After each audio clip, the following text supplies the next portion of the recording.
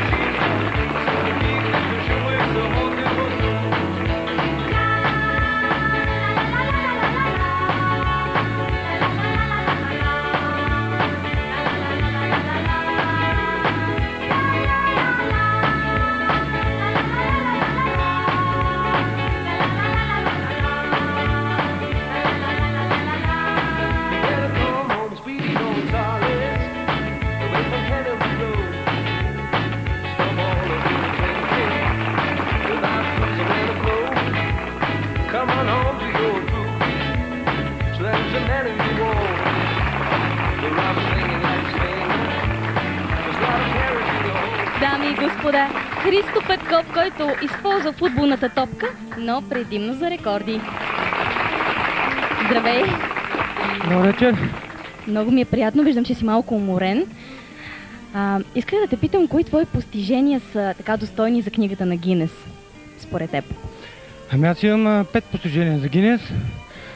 Едното е 6 км жонглирайки само с глава. Трудно ти я виждам.